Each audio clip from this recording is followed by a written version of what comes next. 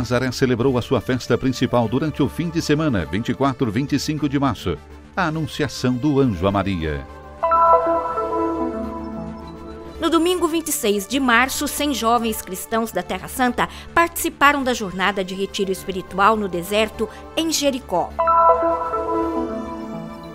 Na quarta semana de Quaresma, a peregrinação franciscana fez uma etapa no Santuário da Flagelação. Foi inaugurada em Belém a estrutura Os Três Reis Magos, um lugar de encontro e hospedagem para sustentar os cristãos locais e criar desenvolvimento. Uma das principais missões dos frades franciscanos, apoiadas pela coleta da Sexta-feira Santa, é a educação. 15 escolas em toda a Terra Santa, para 12 mil alunos.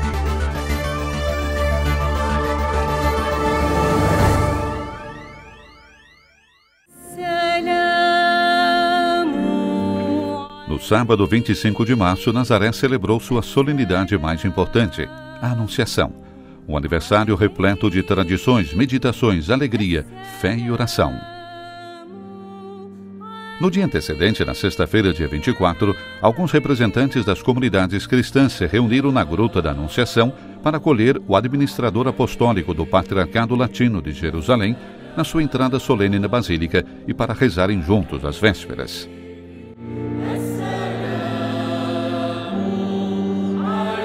Ao anoitecer, muitos fiéis se reuniram para rezar e contemplar o mistério no lugar onde o anjo anunciou a Maria que ela seria a mãe do Salvador. É uma experiência, uma realidade que dobbiamo solo accogliere. É uma experiência, uma realidade que só precisamos acolher. Vemos como a grandeza, a onipotência de Deus aceita passar através da liberdade de uma mulher, Maria, que com seu sim com a sua plena participação, tornou possível a redenção da humanidade inteira. É algo tão grande que a vida inteira não é suficiente para entender. Todavia, é algo que nos toca sempre e nos leva a acolher este mistério de uma vida nova, que nos surpreende e vai além de nós. De uma vida nova que te surpreende e te supera. Na manhã do sábado, dia 25, Dom Pier Batista Pizzabala presidiu a missa solene na Basílica Superior. Dom Marcuso, na presença de alguns bispos, muitos concelebrantes e uma multidão de fiéis, apresentou a homilia preparada pelo administrador apostólico.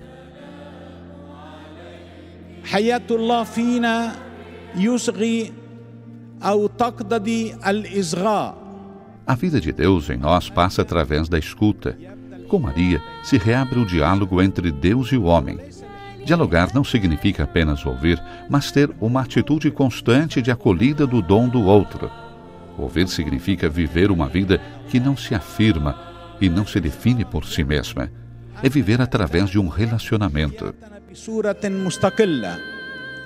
بل نعرف أن حياتنا هي علاقة مع الله. uma especialidade da festa desse ano foi a presença de uma representação de Fátima enviada na comemoração do centenário das aparições em Portugal.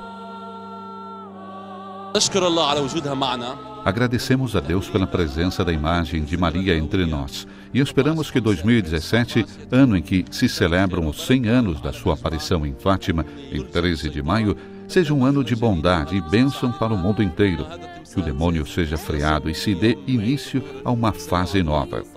Estamos especialmente alegres por essa imagem passar por aqui e chegar a Alepo, precisamente em 13 de maio. Será a Virgem de Nazaré quem consolará e estará próxima de quem sofre. A liturgia solene foi a expressão da grande fé e devoção dos cristãos de Nazaré e de toda a Terra Santa.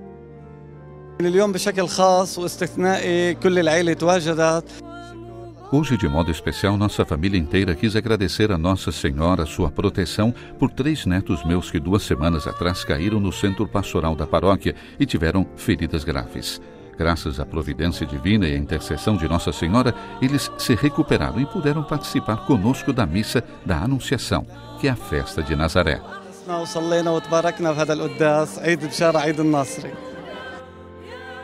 A solenidade se concluiu com a tradicional procissão com velas do sábado à noite, presidida pelo administrador apostólico, que quis recordar assim o 12º aniversário da procissão mariana que ele quis na época em que era ainda o custódio da Terra Santa.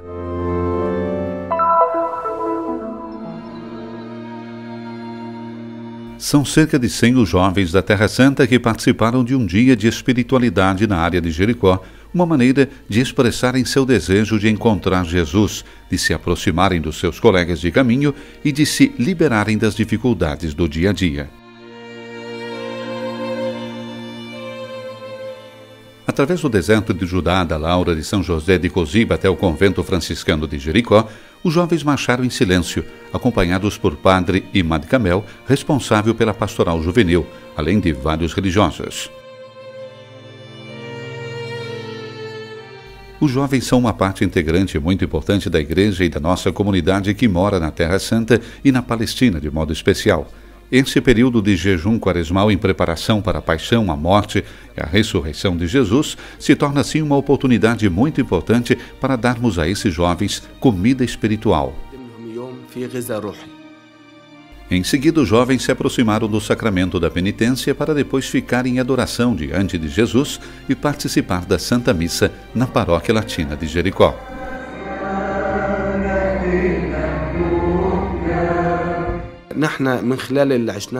Nessa experiência que vivenciamos com jovens durante esta marcha silenciosa, fizemos com que eles conversassem com Deus, dando-lhes a oportunidade de dialogar com Jesus uma experiência realmente única. Eu digo a cada jovem, mas sobretudo a quem mora aqui na Terra Santa, que não é suficiente a Terra ser santa. É preciso sermos santos na nossa vida.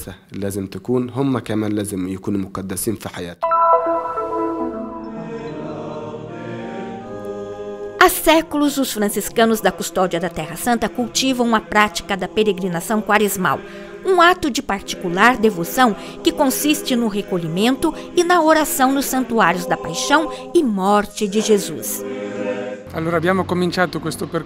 Começamos esse percurso quaresmal das peregrinações pelo Dominus Flevite, recordando um pouco o pranto de Jesus sobre a cidade de Jerusalém, que se recusa a acolher o Messias, e nos juntamos ao pranto de Jesus para depois acompanhá-lo na sua luta até a agonia no Getsemane, onde Jesus nos ensinou como se vence toda tentação, como a oração pode se tornar a força que sustenta cada perseguido e que lhe permite testemunhar de verdade a fé, sem sentir o Senhor longe dele senza sentire il Signore lontano da lui. A tradição cristã coloca aqui dois momentos da paixão: a flagelação e a condenação à morte. Os dois santuários estão dentro do convento franciscano, como também é a sede do Estúdio Bíblico Franciscano. No teto da capela da flagelação, um mosaico que representa a coroa de espinhos. E hoje nos encontramos aqui nesse convento da flagelação que recorda esse momento doloroso da vida de Jesus, em que Jesus nos mostrou todo o seu amor, precisamente sofrendo em silêncio por nós e oferecendo toda a sua dor pela salvação do mundo inteiro. A liturgia quaresmal teve início com a oração das vésperas, seguida pela missa solene presidida por Frei Alessandro Conilho, professor do SBF, junto com a comunidade franciscana da Terra Santa. Participaram também religiosos e cristãos locais. O texto bíblico recorda como os soldados romanos conduziram Jesus ao pretório e o colocaram no meio de toda a corte. Arrancaram-lhe as vestes e colocaram um manto escarlate e o coroaram com uma coroa de espinhos.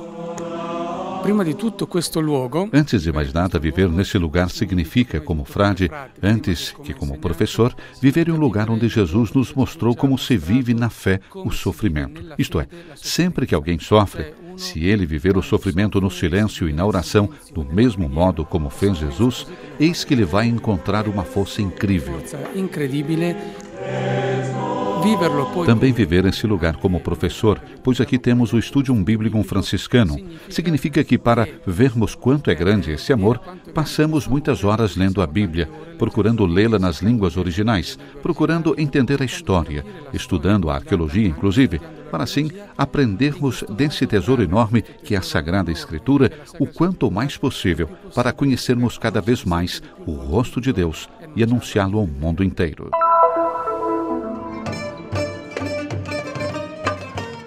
É uma quente tarde palestina em Belém, mais de 200 pessoas, entre habitantes locais, frades e autoridades, voluntários, estrangeiros e locais, se encontram a poucos metros da Praça da Manjedoura. Aqui na quarta-feira, 29 de março, inaugurou-se uma nova guest house, É um sonho que se realiza. É um sonho que se torna realidade. É um projeto que nasceu de um grupo de amigos um pouco distantes pelo abandono do centro histórico de Belém e, de modo especial, do Caminho da Estrela, um dos lugares principais da cultura cristã e das raízes cristãs desta cidade. Graças à providência, com a ajuda dos frades e dos doadores, conseguimos esta casa e a transformamos em um projeto para a comunidade local. Transformá-la em um projeto para a comunidade local. Inspirando-se na homilia do Papa Francisco de 6 de janeiro de 2017 e na antiga relação com a cidade, o nome da casa é Dar al-Majus, em árabe, Reis Magos em parte guest house e em parte lugar de encontro. É uma oportunidade para se preservar o patrimônio da cidade e envolver a comunidade local, e se propõe a se tornar lugar de encontro e ponto de apoio para quem quiser viver uma experiência de oração, turismo ou serviço na Terra Santa. O coração do projeto é Desenvolvimento Social Community, em função do envolvimento da sociedade local desde o início, pois nosso interesse é desempenharmos todas as fases com o time local e criarmos novas oportunidades de trabalho. O resultado final desta casa reformada está a serviço da comunidade inteira. Serve the whole community. Nosso slogan deve ser, na prática, viver uma experiência. Nós desejaríamos oferecer uma experiência, uma experiência especial que todo mundo possa levar consigo. Não apenas visitar um lugar ou fazer uma simples peregrinação, mas também uma peregrinação muito profunda, que é viver com as pessoas. Hóspede é uma palavra muito importante. No hóspede está presente o próprio Jesus, recordou o custódio da Terra Santa, Paton, pouco antes da bênção do complexo e do corte da fita, na presença da prefeita Vera Bobum, acompanhada pela Câmara Municipal inteira. No terraço panorâmico, os frades doaram a medalha da alma agradecida, em sinal de agradecimento aos doadores, três como os Reis Magos, ATS, Associação Pro Terra Santa, Padre Javier Segrice, de Madrid, e Guia Modespacer Moscatelli, da Suíça. Entre um prato de buffet preparado pelas mães do curso de cozinha e formação, lançado pela Associação Pro Terra Santa alguns meses atrás, e a música dos jovens músicos que moram no térreo da estrutura, voltam à mente as palavras do Papa Francisco que inspiraram o nome da Guest House. Somente virá estrela quem estiver disposto a empreender o caminho.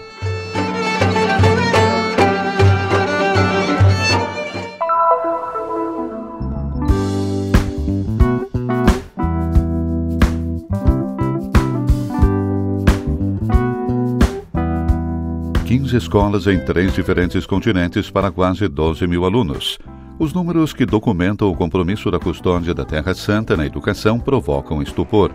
Era o ano de 1598 quando os frades da Ordem Menor, vindos à Terra Santa, havia pouco mais de três séculos, resolveram fundar em Belém a primeira escola do Oriente Médio. I franciscani, quando sono venuti qui, quando os franciscanos vieram aqui, vieram para custodiar os lugares santos, mas se deram conta de que a pedra viva precisa do cuidado dos franciscanos e por isso, perto de um santuário, construíram, antes de mais nada, uma escola e logo um centro esportivo e uma paróquia. Hanno costruito prima uma escola, um centro esportivo, uma paróquia. Hoje, onde quer que exista um santuário custodiado pelos franciscanos, pode-se encontrar também um instituto escolar. O último situado em Caná se une àqueles de Jerusalém, Belém, Jericó, Nazaré, Haifa, Aco, Hamlé e Jaffa para Israel e a Palestina, e ainda aqueles na Jordânia, em Chipre e na Argentina.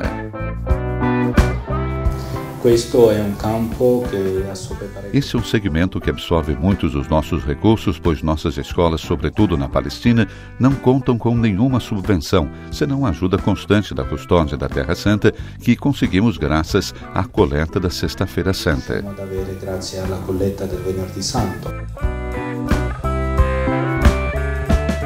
A generosidade dos fiéis do mundo inteiro dá, portanto, uma contribuição indispensável à missão educacional dos franciscanos. missão que visa a acolhida dos alunos sem distinção de nacionalidade, classe social e, sobretudo, pertença religiosa. Exemplo virtuoso disso é a escola de Hamlet, cidadezinha na maioria branca situada a 40 quilômetros ao norte de Jerusalém. A escola aceita todo mundo sem discriminação, acolhe muçulmanos e cristãos. Os cristãos são cerca de 58% dos alunos, o resto são muçulmanos. Todos moram juntos, trabalham juntos e têm bons relacionamentos. Na escola recordamos e festejamos todas as ocasiões e os aniversários, quer dos cristãos, quer dos muçulmanos. A escola foi construída em 1728 perto do convento dos santos Nicodemo e José de Arimateia e acolhe quase 400 alunos.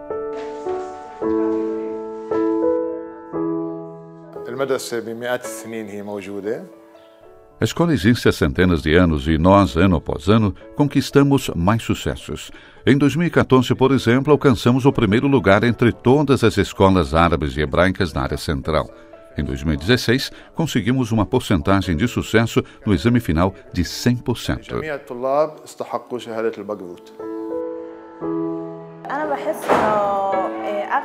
Estar aqui na Escola da Terra Santa é uma das melhores escolhas que já fiz. É uma escola de alto nível acadêmico. Educarmos-nos a paz, educarmos nossos alunos a paz. Esse é o lema da custódia da Terra Santa em âmbito escolar, na certeza de que uma sociedade e uma cultura nas quais o outro não for percebido como inimigo vão se construir aos poucos, ano após ano, em meio às dificuldades diárias.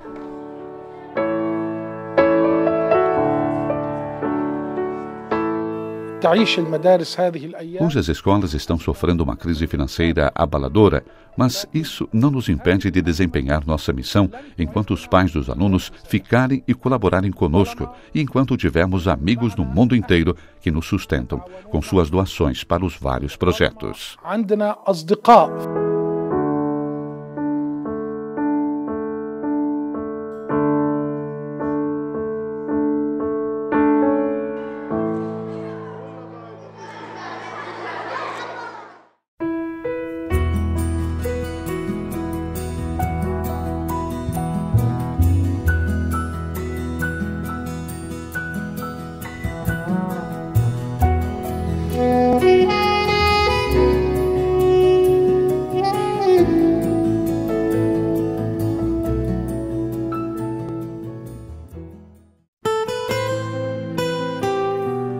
Media Center tem a missão de levar ao mundo a mensagem da Terra Santa, a terra do quinto evangelho. Transmissões, reportagens, notícias, documentários, atualidade da igreja e da vida cotidiana dos cristãos da Terra Santa. Você pode nos ajudar nesta missão, fazer conhecer e difundir a mensagem da Terra Santa. Ajude-nos. Visite o nosso site